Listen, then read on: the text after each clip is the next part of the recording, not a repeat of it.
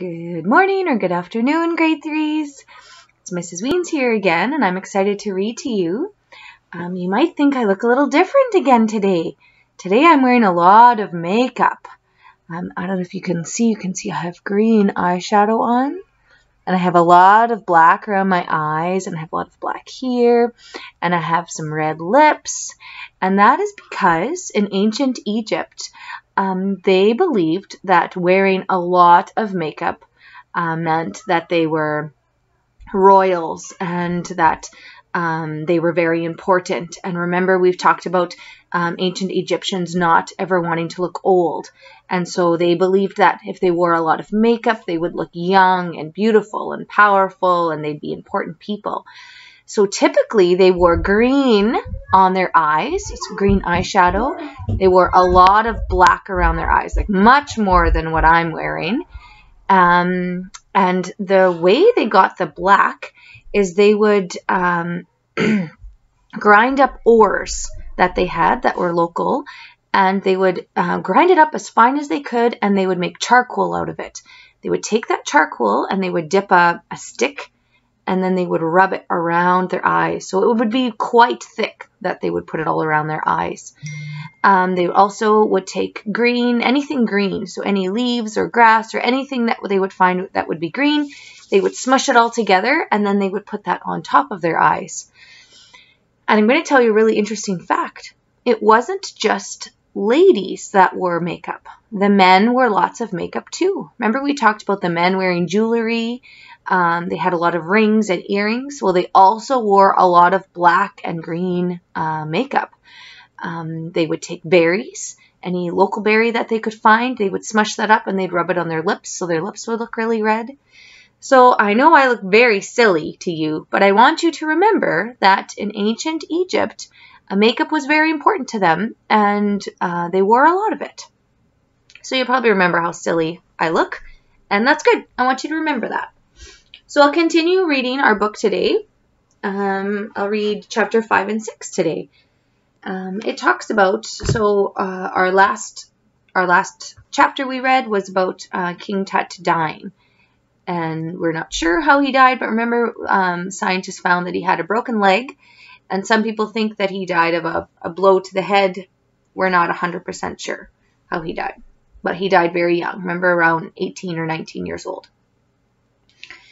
So this part of the book is just what ancient Egyptians believed. It's not what most of us believe, but um, this is what the ancient Egyptians believed. And um, so you don't obviously have to believe it, um, but this is, I guess, the reasoning and the thinking behind what they did with uh, King Tut's body. Okay, of course, Tut had no way of knowing that he would die young. Nevertheless, he'd already started planning his tomb before his death. So if you've looked in your uh, papers that we've sent home, we talk about tombs and we talk about pyramids. Um, and I'm going to talk to you about that later uh, on another day. But the reason we had pyra- they built pyramids was because that's where they buried the royal people, so the really important people. That was their like, you know, we maybe put people in a casket, and they don't. They would put them in these huge, massive pyramids, and they would put their body in there um, to keep their body safe. Okay, so while he was still alive, he was planning his tomb. So those were tombs and pyramids were very important to ancient Egyptians. You might ask why. Ancient Egyptians believed in an afterlife. They believed there was life after death, just like there's life on earth. They believed after they died, there was another life.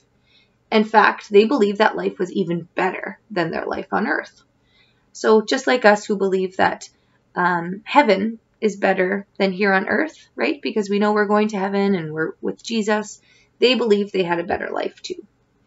The journey to the land of dead was, was a difficult one. Not everyone was allowed to live there. A special book had magic spells that helped a person reach the land of the dead.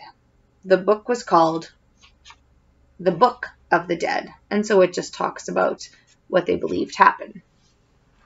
Every person, even the pharaoh, had to pass a test. In the underworld, his or her heart was put on the side of a scale. So, what happens to ancient Egyptians when they die?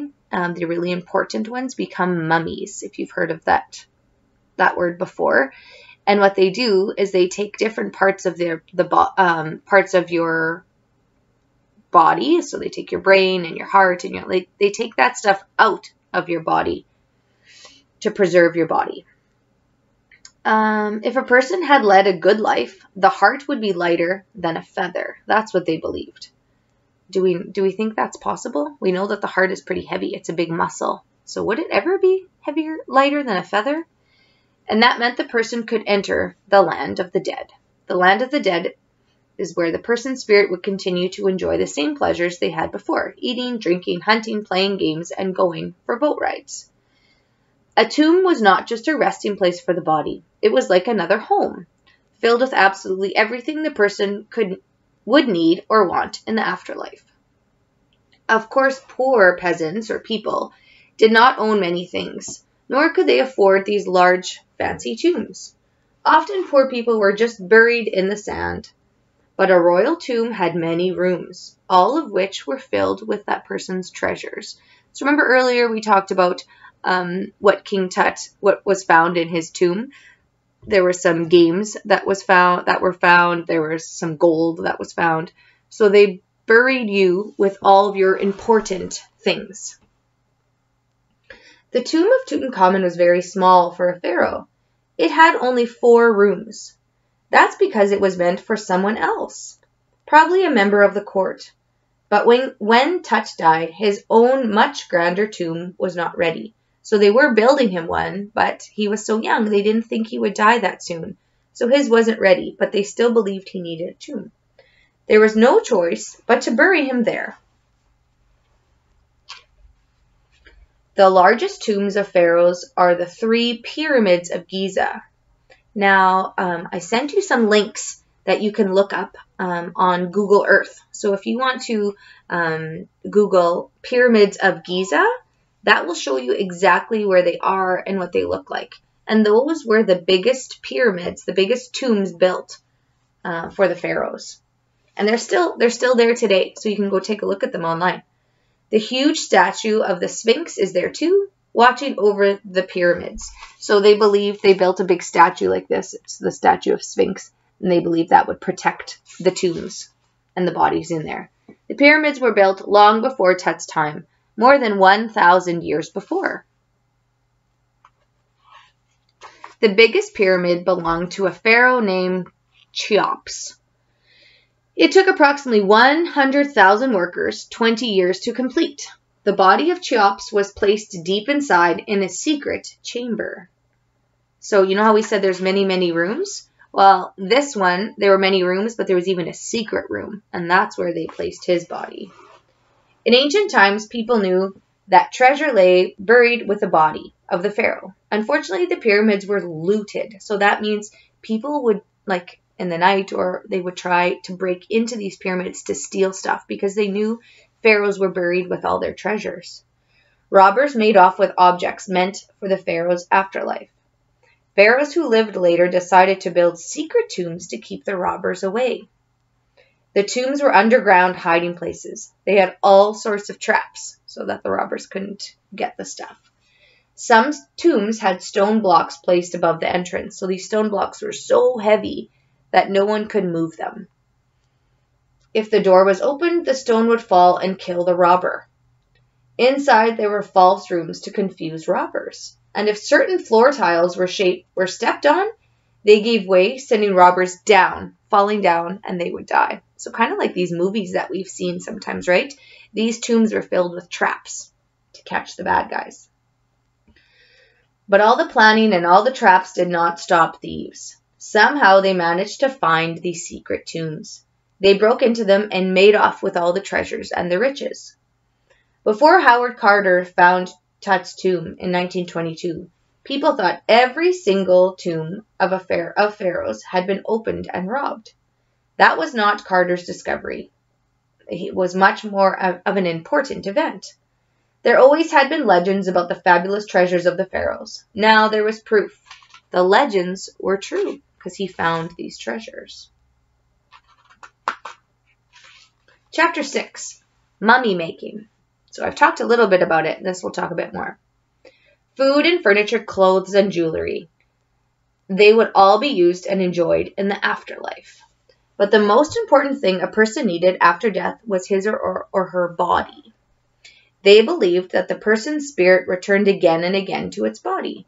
So the Egyptians learned how to preserve a dead body. So pre- preserve means just keep it um, in a good condition. They wanted to keep it from decaying. They wanted it to last as long as possible. What they did was dry out the dead body. They turned it into a mummy. Over the centuries, the ancient Egyptians be- became better and better at making mummies. Right after he died, Tut's body was ferried, so that means it was brought by a, with a boat across the Nile River. There, priests were waiting. Their job was to make his body into a mummy. From start to finish, it took about 70 days. First, the pharaoh's body had to be cut open. This was so organs inside could be removed. The Egyptians believed that the heart was the seat of thought and wisdom. Tut's spirit would need his heart in the afterlife, so it stayed in his body. But the priest removed his lungs, liver, stomach, and intestine. Each was put in a special jar. So they had these jars and they had them labeled. So they would say stomach, lungs, intestines, and so that you knew which part you were putting in there. Um, later on, these jars were placed inside Tut's tomb along with his mummy body. The Egyptians didn't think a person's brain did much of anything. So, with a thin hook that went up through the nose, so they put a hook up through the nose, they scraped out the brain. So they put this long hook up there, it would go up into your brain, and they would pull pieces of it out of your nose. And then they threw it away. They didn't keep the brain because they didn't think it was important. Little did they know, right? After this, Tut's hollow body was ready to be dried out. The priest called used a salt called natron. For about 40 days, Tut's body lay packed in natron, or natron. Slowly the salt dried out the water from the body. The skin became, became tough and dry, like leather. To keep its shape, the body was stuffed with scented rags. Then it was ready to be wrapped in yards and yards of fine white cloth. The priests said prayers as they wrapped up the pharaoh's mummy. The wrapping took 15 days, so it was a very long process. The priest placed little good luck charms in between the layers of cloth. Many of the charms were made of gold and pretty colored stones in different shapes. Some were heart shaped, some called scarabs looked like beetles. Still others looked like tiny eyes. They were meant to keep the evil evil thoughts away. Once his body was wrapped up, the cloth layer was coated with something like glue. So he's all wrapped in white linen, and now they put glue over top of him. When it dried, the wrapping became hard, like a shell around a mummy. So it's kind of like if you've done paper mache before. You put this glue paste over top of your your form, and then you leave it, and it dries, and it gets really hard. Now Tut's mummy was ready for his funeral. And that's it for today. Um, I hope that you're working on your ancient Egypt books and you're learning all kinds of really neat things of how different uh, people lived. And I just want you to remember, even though it's very different than how we live and what we believe, it's still okay to to uh, learn about it. We're not saying that you have to believe in any of it, but it's just different. Um, it's just a different life, and that's how how people did things how many thousands of years ago, how the ancient Egyptians did them. And it's kind of interesting to learn. Um, I'm also going to post another challenge for you today. So I will get that ready and post it right away. Hope you have a wonderful day.